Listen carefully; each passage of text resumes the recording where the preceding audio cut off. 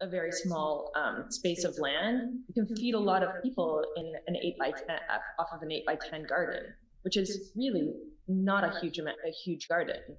Um, so there's just like so so many directions that we can go in with the very with like you know small small smaller resources.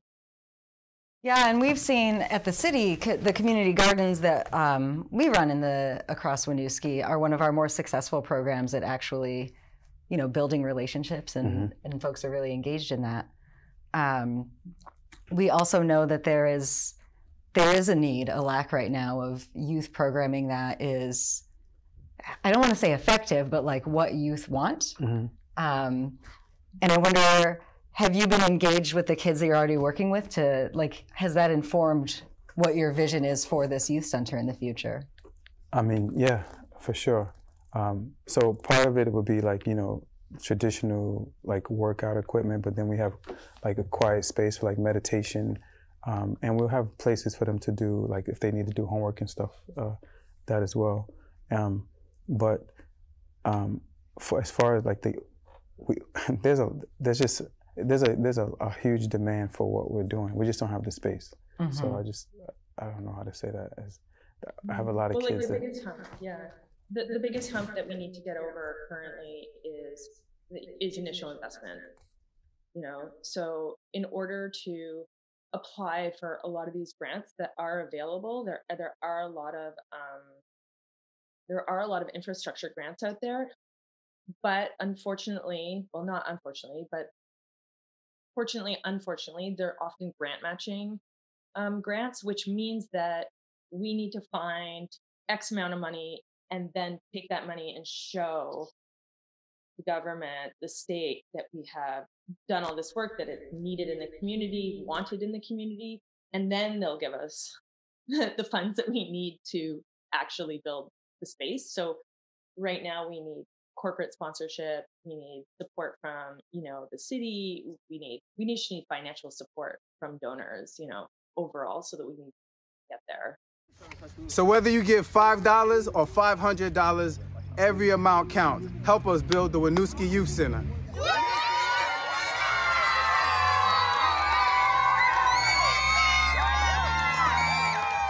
How can folks learn more about the foundation and make donations if they wish? Is there like a website or some information you can share? Is vtfightforkids.org. vtfightforkids.org? Yeah. And they can find out information about the organization, how to make donations, and everything from there. Do you have any? Um, oh, go ahead, Gita. Sorry. Also, uh, we're we're currently working on a um, a smaller funding drive, uh, not only to present to the community and to future donors what we're capable of doing, um, but we're working also with the state of Vermont on um, uh, uh, on a Better Places um, placemaking grant, which will allow us to offer some programming through the summer. and that is that website is patronicity.com slash FKF. Repeat that, please. Pa- patron the city? Patronicity.com backslash FKF. Okay, thank you. And, and, what that is, is a program that we'll be doing during the summer. It's called Sweat, Flicks, and Chill. And so it's an open air workout, open to the community, anybody of any ability and ages. Um, it's a, like a 45 minute workout and then we have food that's going to be there, and then we have a, a open air movie that's going to play.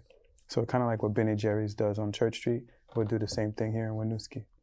That's awesome. That sounds like a really good way. You know, here's an event folks can attend and learn more. Um, intergenerational. Yeah. Bring folks together. Bring folks together that wouldn't normally be together. Um, and, and you don't have to do every part. You know, maybe you want to just come for the food. Maybe you want to come for the flicks. Maybe you want to do all of the above. But it's there for you. Yeah, and I, I want to go back to something Gita said about funding. You know, this is often how government grants work that the city goes after as well. Like, you have to prove some plans and some some backing, and so the city council has supported your foundation um, and written some letters of support. And we um, appreciate that because we do believe that what you are working towards is really going to be helpful for the community. Um, and finding that match money is always a challenge as well. You know, you I know you all are doing a lot of hard work going out there seeking grant funding. Um, but like you said, the the corporate sponsors or larger, large and small donors, frankly, make a, a big difference. Yeah. Mhm. Yeah, and just to say, um, through the through the funding that we've been doing with um, with the Better Places, we have had some bigger and smaller donors, and we've had a lot of people, um, you know, giving little little small sums, and everything helps. Like it's all it's all amazing, and we just like we appreciate people getting behind us we are this close to actually receiving the grant. So if anybody's out there and they want to see it happen, we're just a few hundred dollars away from actually achieving our goal. So Oh, that's amazing. Um, I, I also want to say something about, you know, the city of Winooski used to have a youth center. Um, this is before I was serving in this role, so I'm not super familiar with the details of that, but I know it hasn't been there for a while, and there's it, it's been a gap in the community, right? For sure. And the Winooski Press Building, um, I'm sure many community members are familiar. It's it's sort of like a little bit of Winooski history. It is really close to the school and to areas where we know a lot of young. There are like more families with youth with kids, um, and so that location is actually really ideal. Mhm. And so being able to bring a resource like this where kids already are, um, where they're already passing through, is going to be impactful. And I have heard many times when I've met with, you know, high school students at the district, you talked about like quiet space for meditation or doing homework. I know that's a challenge a lot of kids face. We have a lot of larger families in Winooski in smaller housing, and they really don't have space to go that's quiet or for privacy to get that sort of thing done. Right. Um, so there's, I, I feel like there's a, a couple of levers you're hitting on or, or needs that we have in Winooski.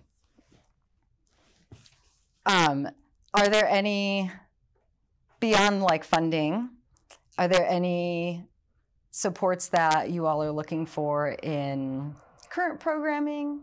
Or are you really focused on this new effort in this big project for the youth center? I mean, right now we're trying to stay super focused on because it's a it's a huge endeavor, Mm-hmm. and uh, that that's pretty much our main our focus. We have uh, down the line we'll we'll take like you know volunteer. I mean, if someone wants to uh, give their information, like we, we've created a list. We have some people that want to volunteer to be teachers and Oh, you know help with the program, the actual program that we'll be doing at the center. But if we don't have a center, then we don't need the teachers. You know. Yeah, yeah. So, um, so yeah, so we're trying to stay focused on like achieving that, uh, and then, you know, but like like with the the sweat flicks and chill, there are other things that we're doing within the community, uh, but our main focus right now is to uh, accomplish the Winooski Youth Center. hmm And for the sweat, the sweat flicks and chill, can you share the dates and location of that for folks? The, the location will be 39 Union Street. And so we have to secure the grant first, which is how many more days are left with the grant? Is it six days? uh, we have, I believe, eight days left. So, so we have achieve our goal. Okay. so we have about a week left to raise maybe a thousand dollars, Um, and then once we secure that grant, some that's again is also a, a matching grant. Mm-hmm. So um, we get that, and then we, from that grant, we purchase all of the things to create the space, um, to make it a community space, and then we provide, and we have vendors that will be providing. It'll be six weeks, and v- with vendors that will be providing food. So it's going to be um, a really cool event. So come out for the food, come out for the fun, but just come out, you know. Yeah, when that's solidified, I'm happy to help put, promote that out and make sure that that info gets out to our community members. But we're looking at toward the end of beginning, like the end of July. Okay, Like first week of August, last week of July is when the first week should start. that's exciting. Mhm. We're gonna get there, For sure. I believe. I think so. Um, are there any other details you want to share, aspects of your project you want to talk about today? Um, I mean, I just I just think that you know it's a, it's a matter of gaining the traction that we need with the grants. It's like some of the grants they want to see like the you know we just got the 501c3 like in January, so a lot of the grants they want to see like like work that you did to get the Mhm. money, but you can't show the work without the money. So it's like this big back and forth. Um, if there are people out there like donors, whether it's large companies or people, um, you know, like uh, like the Palmer, what was what's the the center down O'Brien Center or like Mhm. the YMCA was is named now the Pomerleau Yep. YMCA. So if there somebody out there who would we could name the Winooski Youth Center after their family, we have no problem with that. Um, but anybody that wants to help us make this happen, um, we, we, we, we want the help. We, we encourage the help, partnerships. Yeah, we, you know, there's a big need in the community, and if we don't support our youth, support kids now, um, We're gonna. it's, we it's have- about our future, yeah, right? for sure, for sure. This is a this is a service that we're trying to provide, and uh, yeah, we can we can. I'm just saying, deal with them, but I mean that in a positive way. We can engage with them now, or we can engage with them later, and the later engagement is normally a negative one, you know. Mhm. So we want to pre- prevention is better than the cure. So we want to give them the tools that they need to make good decisions, so that they not only can they finish school, but but get once past school, you know, make the right decisions in life to become, to be good citizens, to continue to be good citizens and good human beings. All right, can you share your website one more time? VTFightForKids.org. VTFightForKids.org. I'll be sure to share that out as well. I really, that. I'm impressed by, you know, your energy and your commitment to this effort, and I really thank you both for taking the time to come speak with us today.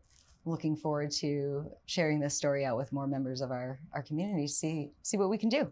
I appreciate you having us. Thank you very much. Thank you.